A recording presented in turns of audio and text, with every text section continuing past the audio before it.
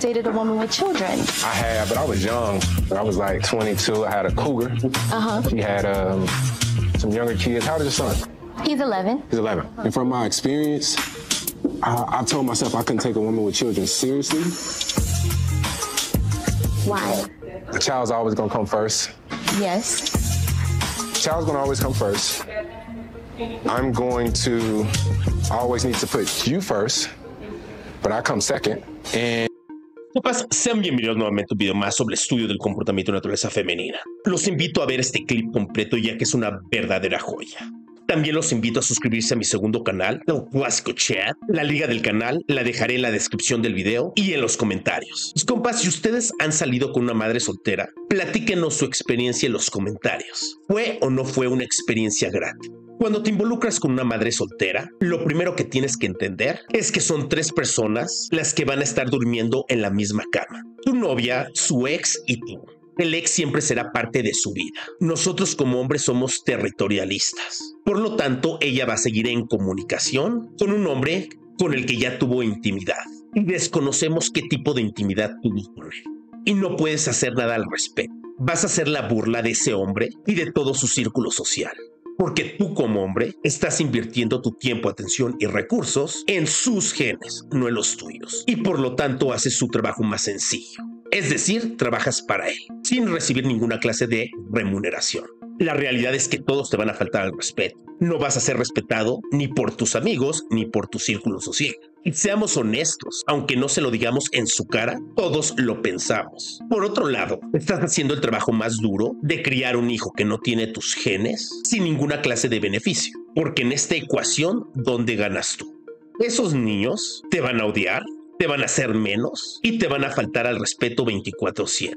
Porque tampoco puedes decirles nada porque no eres su padre. Y ahora quiero que se imaginen el siguiente escenario. Tú estás teniendo intimidad con su madre y ellos están en el otro cuarto escuchando. ¿Ustedes creen que esos niños te van a ver con ojos de amor? ¿Por qué razón tengo que invitar problemas a mi vida? Si tengo dinero, si tengo estatus, si estoy mamado, tengo tiempo libre. Ese niño lo único que me va a ocasionar son problemas. Y seamos honestos, todos los hombres que salen con madres solteras, de alguna u otra forma se sienten usados. Díganme que no. La realidad es que las mujeres están buscando un proveedor, ya que su hijo siempre será su prioridad, lo cual es totalmente válido y es como deberían de ser las cosas. Esta mujer nunca será sumisa contigo, nunca será su prioridad y nunca podrás liderar esa relación. Por lo tanto, lo único que vas a obtener de ahí son responsabilidades y obligaciones, sin ninguna clase de autoridad. Y como todos sabemos, responsabilidad sin autoridad se le denomina esclavitud. Es decir, las mujeres están buscando a un esclavo. La mujer nunca te amará, ella va a amar lo que tú haces por ella. Y efectivamente fue irresponsable al momento de elegir al padre de sus hijos. Esto nos indica que fue una persona impulsiva y por lo tanto no es material de esposa. Y ahora quiero que se imaginen que ustedes tienen un hijo con esta mujer. Siempre vas a amar más a tu hijo que al hijo de otro hombre. Y el niño lo va a notar. Por otro lado, estás entrando en una familia rota, o mejor dicho, disfuncional. Nunca serás líder, no tienes derecho a tener una opinión, vas a pelear de forma constante por el liderazgo dentro de la relación y nunca vas a ganar. Siempre serás el malo de la historia, tu propia familia va a desaprobar dicha relación y al final del día el padre biológico tendrá todo el crédito. Y les voy a decir una cosa, mis compas. Si yo entro a una aplicación de citas y veo que se trata de una madre soltera, le doy a la izquierda, porque al final del día la vas a lastimar y ella va a entrar en un modo vengativo. Y lo que va a hacer es vengarse con el siguiente hombre que entre su vida. No hay que hacer eso, simplemente descarten. Mis compas, los invito a ver este video completo ya que es una verdadera joya y si mi contenido les aporta valor no olviden suscribirse, comentar y darle like. Así es que sin más comencemos. A las 3 de la mañana llega a tu casa. ¿Has conocido gente así? Sí. Yo también, güey. Que les vale verga. Qué envidia. Les abrieron las preocupaciones. Qué envidia de vida de cabrones, güey. Que hace que 5 de la mañana está marcando a mi vieja y le apagan el teléfono celular. Qué huevos de cabrón. Qué huevos de cabrón. De esos días que me gusta la vida recio. Y todavía llega el vato bailando y con barbacoa el domingo. Bailando, güey. Ya sabes que llega, estaciona el carro, me escucha. Por la madrugada yo me pongo sabroso. Por la madrugada. Y el vato, gorda. Tenía un vecino así, güey. Llegaba tan pedo el vato que a veces se estacionaba en otras casas al lado. El vato dice, señor, usted aquí no vive. La señora le abrió la puerta y ella de atrás. Métete. Nuevamente, mis compas. Y seamos honestos, las mujeres se sienten atraídas hacia estos hombres, porque estos hombres tienen comportamientos atractivos para las mujeres. Le apagan el celular, esto le provoca ansiedad a la mujer, generan ausencia, muestran indiferencia y no se dejan controlar por la mujer. Y ese es el comportamiento del clásico y bien conocido Chad. Hombre dedicado a esparcir su semilla a diestra y siniestra. Continuemos. Mi esposo es- llega de trabajar, mi esposo es panadero, trabaja en una panadería. Y eh, a veces le separan pan para dar, qué sé yo, para traer en casa. Y le pidió a una compañera que eh, le separe pan. Y la compañera le deja este pequeño mensaje en la bolsita. A ver ustedes qué, qué opinan. Se ve el mensaje que le deja la compañera a mi esposo. Para mi amigo compañero Nahuel, no sé por qué Adolfo de la Trinidad, de lo más bello y espectacular de Astrefen. Con amor, Isa. No sé.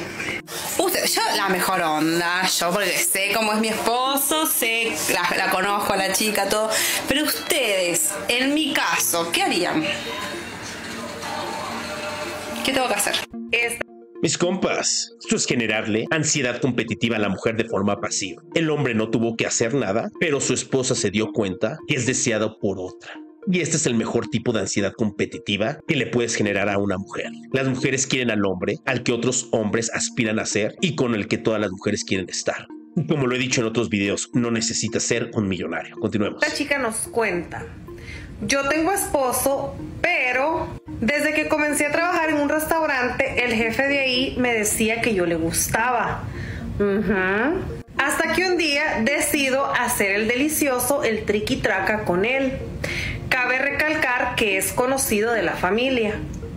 Y bueno, pues pasó por mí a mi casa. Siga aquí. Estás casada y pasó por ti a tu No le tienes miedo a nada, mija. No le tienes miedo. Bueno, fuimos al cinco letras, o sea, y estando allá, empezó lo bueno. A mí me gustó y a él también. Él decidió subirme el sueldo. Tonta, no eres. Y seguir conmigo. Siempre que teníamos oportunidad nos veíamos y pues ya teníamos nuestro lugar donde siempre íbamos. Pero siempre pasábamos peleando en el trabajo, porque es muy coqueto con las demás chicas y eso pues me ponía celosa. Casada y reclamándole al hombre. No, tantita vergüenza, mija. Bueno, nos reconciliábamos en el triqui-traca, cada vez mejor. Y en el trabajo pues siempre peleando. Hasta que hace unos días tuvimos el triqui-traca por última vez y ese mismo día le renuncié. Ahora estoy con mi esposo y él me bloqueó de WhatsApp, pero sé que pronto me buscará. Qué tóxicos. ¿Se dan cuenta, mis compas? Los celos nos indican que esta mujer ya realizó una inversión a nivel emocional en otro hombre. El hecho de que esta mujer haya sido infiel nos indica que ya no le interesa permanecer dentro de su matrimonio. Por lo tanto, no deja a su esposo porque no quiere perder el acceso a sus recursos. Es decir, lo ve como una cartera, como un cajero automático. ¿Por qué las mujeres no hablan de esto? De que ven al hombre como un objeto. Porque el hombre siempre tiene que ser el malo de la historia. Continuemos. Cosas en las que me fijo cuando empiezo a ligar en las aplicaciones estas como Tinder y Bumble. Bueno, la verdad es que no uso Tinder porque me cancelaron la cuenta. Nunca tuve muy claro por qué me la cancelaron, pero dice que rompí unas reglas. Pero bueno, para el caso, Bumble es lo mismo. Primero y obviamente me fijo en las fotos, porque sí, el amor entra por los ojos, por los ojos. Pero no solamente me fijo si está guapo o guapa. O sea, sí, eso es lo primero, que me guste físicamente la persona. Pero ya que empiezo a ver las otras fotos, lo que me fijo es el tipo de fotografía que tiene. Porque decidir qué fotos subir a esas plataformas habla mucho de la persona. Y por ejemplo, si nada más suben fotos de ellos medio encuerados en un gimnasio, mmm, no me encanta porque yo no soy fitness. Y les tengo estigma a las chavas o chavos que son como súper amantes de un gimnasio. Lo acepto. También, si la mayoría de sus fotos son en un antro, en un concierto o con un alcohol en la mano o un cigarro, next. Yo no puedo salir con fumadores, lo siento. ¿Qué fotos me gustan? Pues fotos como de que están posando en un viaje o están con su familia o no sé, una selfie cualquiera. Bueno, las selfies me gustan, pero cuando todas son selfies y en todas tienen la misma pose, todas son la misma cara, no me encanta. Una vez que ya sus fotos me gustaron, me voy directo a leer su descripción. Y esto es súper importante porque de verdad, si no tienes escrito absolutamente nada en tu descripción, yo te doy a la izquierda, aunque me hayas gustado muchísimo. Sé que a veces puede ser como muy difícil hablar de nosotros mismos, pero cuando no hay ni un esfuercito de poner ahí, aunque sea poner no sé qué poner, mm, pues no, no le va a echar muchas ganas, creo yo. Si sí tiene descripción, pues obviamente me fijo en lo que dicen, ¿no? Qué tan original es y si de verdad ahí dice no busco nada serio, pues entonces next, ¿no? Y es que muchas veces de esa descripción va a depender la primera frase que yo te diga en el chat. No solo te voy a decir hola. Lo más seguro es que si ahí pusiste que te gusta alguna serie, te voy a hablar de esa serie. Después me fijo en sus preferencias o como estas cositas que aparecen con un logo chiquitito. Me fijo que sean no fumadores. Que no tengan hijos es súper importante para mí, la verdad. Y en la opción de qué estás buscando, debe de decir que están buscando algo serio o que aún no saben. Si esa opción dice no busco nada serio, next. Y sí, la verdad también me fijo en el signo zodiacal. Si son Géminis o Escorpio en hombres, next. Les tengo pavor. Y básicamente es eso. Ay, si son barbones, la verdad es que me puedo saltar el hecho de que no tengan una descripción. Y pues ya a partir de ahí les doy like y si hacemos match, pues me toca a mí hablarles primero y normalmente inicio la conversación basándome, les digo, en la descripción para que pues haya más de qué platicar. Si pasan alrededor de dos semanas y no nos hemos conocido personalmente, los borro. ¿Ustedes en qué se fijan para darle match a alguien en esas plataformas? Y ya. Fijarse en el signo zodiacal. Qué ridiculez. Yo lo que hago es mostrar un estilo de vida y voy a poner que busco una relación, porque mi objetivo es tener el acceso a la intimidad, aunque no lo esté buscando. Porque decirle a un hombre que buscas una relación y que no estás para juegos funciona de la misma forma que el hombre que te dice que solamente quiere plancharte casualmente y que no está para juegos. Claramente es una mujer que ya tiene más de 30 años de edad, que todos los estándares que ahorita está imponiendo ya lo rompió con el clásico bien conocido chat y ahora a ti te los quiere condicionar. El clásico chat se lo entregó gratis en sus mejores años y ahora en sus 30 te lo quiere condicionar a ti. Y aquí es donde yo le pregunto, ¿qué puedes aportar a la vida de este hombre? Pero las mujeres nunca se cuestionan esto. Continuemos. Woman with children. I had, but I was young. But I was like 22. I had a cougar. Uh huh. She had um, some younger kids. How old is your son?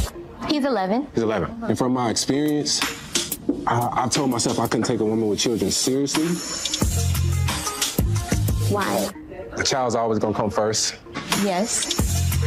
The child's gonna always come first. I'm going to always need to put you first, but I come second. And technically, he's a 10 year old boy who's going to get into his teenage years.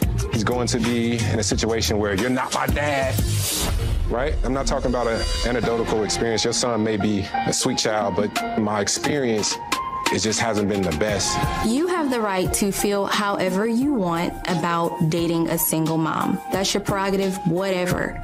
But you're on a date with a single mom. What are you talking about? Your priority here is supposed to be trying to get a third date. I don't even know why I'm on a second date with you in this moment. Realistically, yeah, we can have some fun. But taking it serious. It's like taking it seriously is just hard because I don't have to I don't have to settle. I've done certain things in my life to put me at a certain echelon to date a certain top tier. Not saying a woman with a child isn't top tier, but like standards wise, is like I like to travel and be like, yo, let's go. I gotta let's go to Miami, let's do this, let's do that. And it's like, let me call my mom and Right. see if she can watch the kid. It's just no real benefit in it for me. Joya, Yes. you didn't ask for another date with him. What was the turn off? Specifically, the turnoff was when I asked that finna make up question right about would you date a single mother? And Jacoby, you proceeded to tell me that basically you're a high value man and you are too good for a single mother. However, you did also tell me that you were raised by a single mother, which is profound for me to think that a single mother's not good enough for you, but it's good enough for a woman to raise you. That's unfair. And it's very insensitive to women out there who have children. All right, so just because it's a cycle, I wanted to wanted to continue. It doesn't have So, to continue. so what I'm saying is, it's, is that it's more about why would you cut off and say that single women are not on the same What level? you're supposed to learn from is history. So you're a very intelligent woman. that got to do You're a very intelligent woman. You're a very intelligent woman, right? Yes. So if you know if as a as a woman growing up, you know it's a less likelihood for you to be successful by having a child. So what you do, you be more proactive. Using condoms. What's that got to do Making with sure your that you choice? okay if you're getting pregnant then all right cool maybe I shouldn't continue having this child because I'm not I, I'm not getting married I should I a better chance of me having a successful life You're by of finding a man that's what I'm Excuse me. thinking So you're you were raised by a single mother. yes and Is I- your I mother still alive? I struggle my mom's still Did alive she struggle or did you struggle? both of us struggle Okay, so your words mm-hmm. that echoed all around mm-hmm. social media, and I want to make sure that we have this clearly, were I'm a high value man. I've done things to step up my echelon, and I'm not going to settle for a single mother. Yeah, Did I have that correctly? I want to be clear. yeah we, we be selling Right. So, what makes you think you're a high value man? The car you drive? no the value I put out into the world What about your character? I have great character. I've built myself to basically have better choices. You want to know why? Because women can choose and, and make a choice. They can. They can say, I don't want to date a man that makes They less can. than six. I want to date a man less than five eight, and the man could be five four. Do they do they care about if a fat man is sitting here? He can be a fat man, right? Uh-huh. But if a fat woman is sitting here, you would say, Oh no, we're body positive.